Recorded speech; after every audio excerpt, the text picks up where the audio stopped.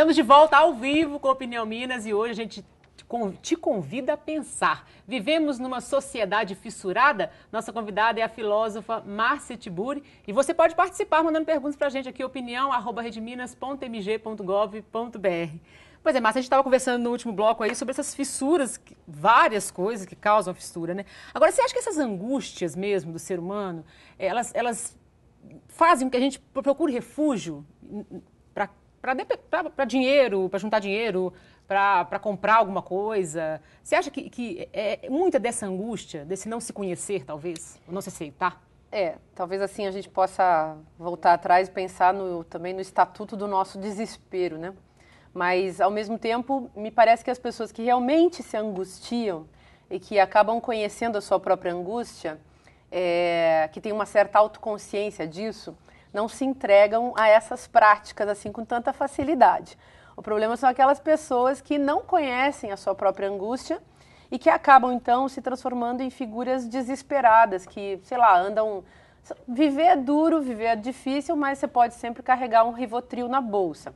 Viver pode ser muito complexo, muito é, assustador cotidianamente, aí você aproveita e fuma um cigarro. Ou, sei lá, bebe-se para se esquecer de alguma coisa. Então, essas muletas, né, que eu venho chamando assim de próteses existenciais, né, elas estão, enfim, no nosso dia oferecidas ao mesmo tempo por um contexto. Um contexto que define assim: se você não pode ter dinheiro, então você pode ter um cigarrinho. Mas se você de repente não pode, sei lá, ter um amor, você pode ter um carro. E você fica substituindo. E no fundo, todas essas relações, é, ou todos esses objetos que são oferecidos, eles podem ser é, vividos né, como uma experiência fissurada. E, mas assim, o que está por trás, né? disso tudo, é, isso que você está chamando de angústia, eu acho que poderia ser chamada justamente dessa fissura é, existencial e original, que é típica de qualquer ser humano que se deu conta do que, que significa ser um ser humano. Uhum. O problema é que as pessoas tapam essa angústia inicial sempre, evitam um, é, ter consciência disso porque dói. E aí elas criam essas é, protofissuras, ou melhor dizendo assim, essas pseudofissuras, né? Então, eu vou, eu vou tapar o meu buraco é. com alguma coisa, eu vou fingir que a minha rachadura, é, que a minha fenda existencial, ela não existe. É. Só que quem faz isso é justamente porque ainda não conseguiu se dar conta que viver implica essa derrocada inicial. Pois é, as pessoas parecem que assim, não conseguem ser felizes pelos, pelo que elas são, mas pelo que elas têm. E então, talvez... tem um amor, ou tem uma coisa, ou tem outra. E justamente porque essa dimensão existencial foi perdida. Então, vamos para a dimensão econômica, porque a dimensão econômica ela parece mais garantida. Ao mesmo tempo, as pessoas é, aderem a esse tipo de é, ideologia, digamos assim, não porque elas tenham desenvolvido esse tipo de ideia, mas sim porque é um sistema econômico, social e político que funciona nessa base. E aí, é, às vezes é meio chato usar esse termo, mas eu acho que a, se trata disso. É, a coisa que a gente vive um, em termos uh, socioeconômico-políticos chama-se uh, capitalismo. Na falta de nome melhor, esse é o nome da coisa. E o capitalismo é atualmente religioso, ele é uma religião. E ele é a religião da utilidade. Então, e da utilidade uh, tratada como um absoluto.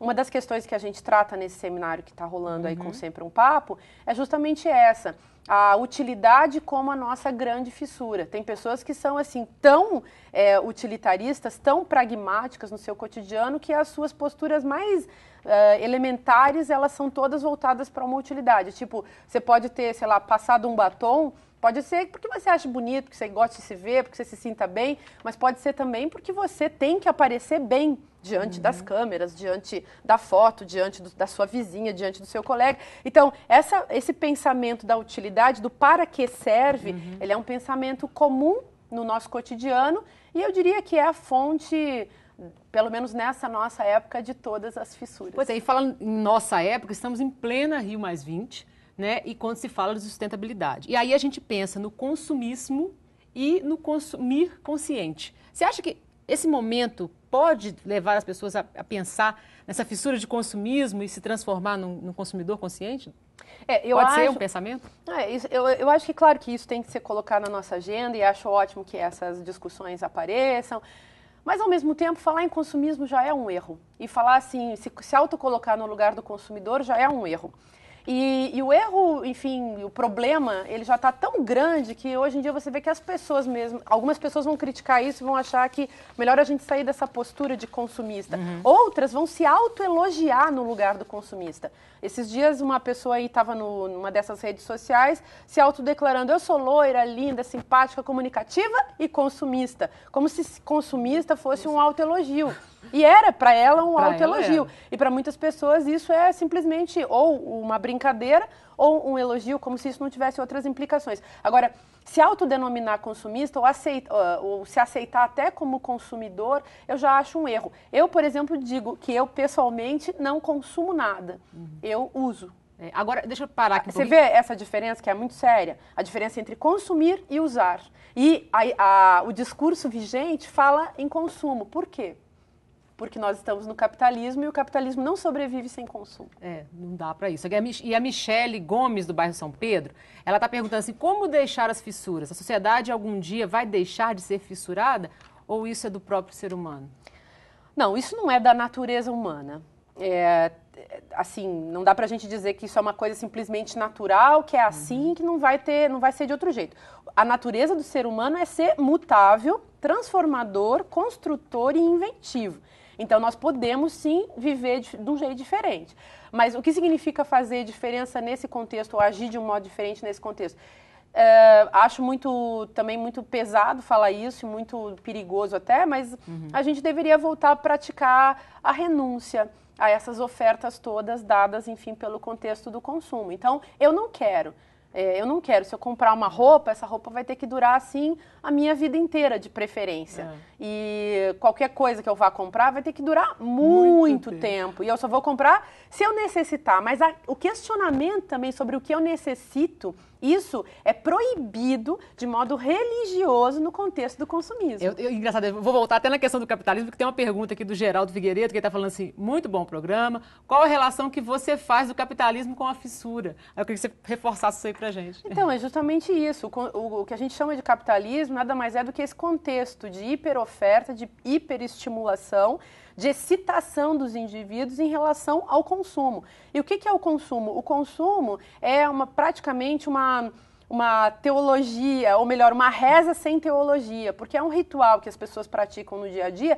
sem nenhum sentido.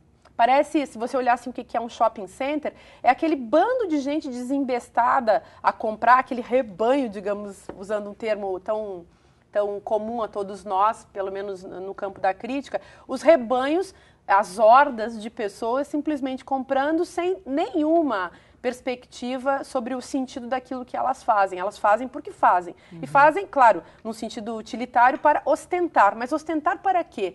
E eu acho importante também discutir isso nesse nosso contexto, porque as pessoas hoje em dia precisam ostentar roupa de marca, ostentar é, carrões, ostentar, enfim, os bens é, do, do dia a dia, e isso é, fundamentalmente porque as pessoas não têm mais o que dizer. Então, nós estamos emudecidos, não temos expressão, é, não temos expressão porque não vemos sentido nas coisas, não temos trocas comunicativas não violentas, uhum. o que a gente vive é uma grande violência, e a gente ostenta na tentativa de também tapar o que está acontecendo. Pois é, Márcia, hoje no Sempre um Papo, lá na Casa Fiat de Cultura, você, você vai falar desse tema, sociedade fissurada, e aí dentro desse tema, você fala também de drogas e o discurso da ciência, e também fissura nossa de cada dia, e a, é, o que nos aproxima dos fissurados. Queria que você juntasse um pouquinho, que nosso tempo está acabando, infelizmente, e falasse um pouquinho para quem vai lá, vai te assistir e vai Aliás, entender, entender é, um pouquinho mais sobre isso, né? É bem legal que as, as, pessoas podem ir, mesmo quem não foi ontem pode ir hoje, porque assim teve um overbooking incrível de inscrição e no final das contas muita gente acabou não indo uhum. e gente que queria ter ido acabou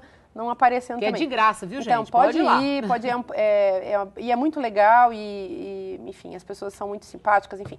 Mas é, por que, que a gente coloca também essa pergunta assim, o que, que nos aproxima dos fissurados? Porque eu não gostaria de dizer simplesmente que a fissura é universal. Uhum. Porque quando a gente trata uma coisa como universal, a gente trata também como, muitas vezes, como banal. Então, é possível não ter uma postura fissurada. É, a discussão sobre a fissura tem como fundamento, como objetivo, é, abrir os nossos olhos para o nosso próprio comportamento, claro, com vistas a uma autorreflexão ética dos indivíduos sobre eles mesmos e sobre as imposições que são colocadas no cotidiano por meio, sei lá, dos meios de comunicação, é, das instâncias institucionais todas. Mas, assim, é, o que nos aproxima deles é justamente essa fissura nossa de cada dia. Então, os nossos comportamentos cotidianos em relação a tudo isso que a gente vem conversando aqui. Ao mesmo tempo, é preciso sinalizar que pode não ser assim. Então, eu não quero dizer que isso seja uma esperança nossa, mas que é a tentativa de construir um projeto analítico, crítico, que vá na contramão daquilo que está dado como certo e verdadeiro e inquestionável. Então, é uma prática meio ateísta nesse uhum. sentido em relação ao capitalismo. Aliás, filosofia para mim é justamente isso, é esse ateísmo em relação ao sistema. Agora você também escreveu, nosso tempo está terminando só rapidamente, você escreveu sobre mulher e filosofia. Tem, você consegue perceber também um universo feminino a, mais nessa fissura? ou, ou não? Eu acho que isso é comum para todos ou os somos iguais? É, pra, é comum para todos os indivíduos, mas ah, existem fatos concretos, né? A relação entre as mulheres e os, e os consumos é, é uma relação intensa. As mulheres sustentam grande parte do mercado que envolve consumo no mundo em relação a é, Aquele cosméticos, uso do sapato até acabar não vai dar sapatos, não. cosméticos, bolsas, roupas, enfim, esses objetos fetichizados e que compram com facilidade a consciência de uma pessoa.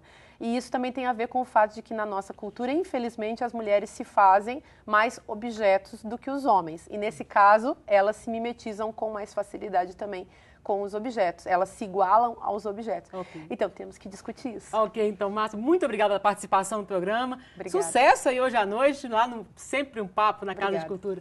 E aqui, gente, ó, o livro para vocês vai estar na semana que vem para sorteio, ok? Então, entre lá no facebook.com.br Opinião Minas. É um convite à reflexão esse papo aqui, né, gente? Quer saber mais do tema? Então, não perca hoje, às sete da noite, na Casa Fiat de Cultura, lá em Nova Lima. Mais uma edição do projeto Sempre um Papo com a Márcia e a psicóloga psicóloga Andréia Costa Dias. Inscrições pelo e-mail inscrições arroba sempreumpapo.com.br. A entrada é de graça. O programa de hoje fica por aqui, mas o nosso encontro é a qualquer hora no youtube.com.br Opinião Minas TV. No Facebook tem prêmios para você, camisa oficial do América, livros, curta, compartilhe e, e a, compartilhe a nossa promoção né, e concorra. Um ótimo dia a todos. Tchau!